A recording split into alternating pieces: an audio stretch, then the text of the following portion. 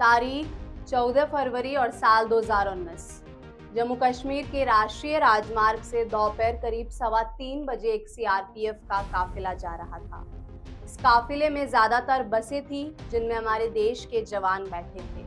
ये काफिला जब पुलवामा पहुँचा, तभी दूसरी तरफ़ से एक कार आती है और काफिले की एक बस को टक्कर मार देती है। जिस कार ने बस में टक्कर मारी, उसमें भारी मात्रा में विस्फोटक रखा था। ऐसे में टक्कर होते ही एक बड़ा विस्फोट हुआ और इसमें हमारे देश के सीआरपीएफ के 40 जवान शहीद हो गए। बीते शुक्रवार को पुलवामा हमले का मास्टरमाइंड औरंगज़ेब आलमगीर बाइक पर हफीजाबाद से डेरा गाजी गुलाम जा रहा था। जाते समय इस्लामाबाद से कुछ बंदूकधारी हमलावरों ने उसे अगवा कर लिया। लेकिन बाद में पता चला कि कुछ कार सवार उसे लेकर वहाँ से फरार हो गए। बता दें बहावलपुर का औरंगज़ेब पिछले कुछ समय से हफीजाबाद में छिप कर रह रहा था। औरंगज़ेब आईएसआई के साथ साजिश रचकर अफगान आतंकियों को जम्मू कश्मीर में घुसपैठ कराने की घटनाओं में लिप्त था।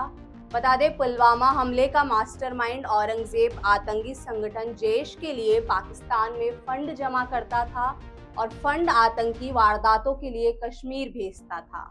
सूत्रों के मुताबिक एनआईए को आतंकियों के ठिकानों से कुछ जगहों के कोऑर्डिनेट और ज़रूरी दस्तावेज़ मिले, जिनकी जाँच अभी की जा रही है।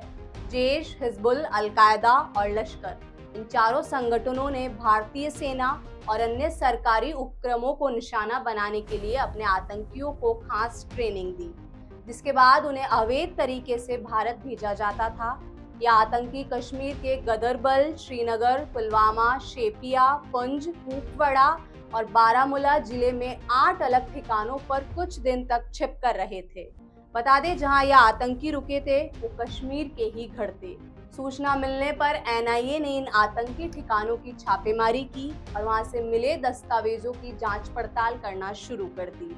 तो वही दूसरी ओर खुफिया एजेंसियों को इनपुट मिला कि पाकिस्तानी आतंकी संगठन लश्कर ए तेबा, जैश ए मोहम्मद, हिजबुल मुजाहिदीन और अलकायदा 14 फरवरी को भारत में पुलवामा हमले की बरसी पर हमले की साजिश रच रहे हैं।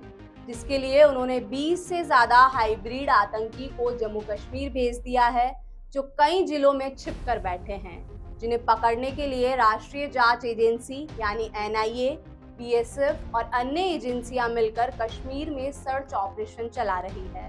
साल 2019 में 14 फरवरी को हुई इस आतंकी घटना ने पूरे देश को जगजोर कर रख दिया था।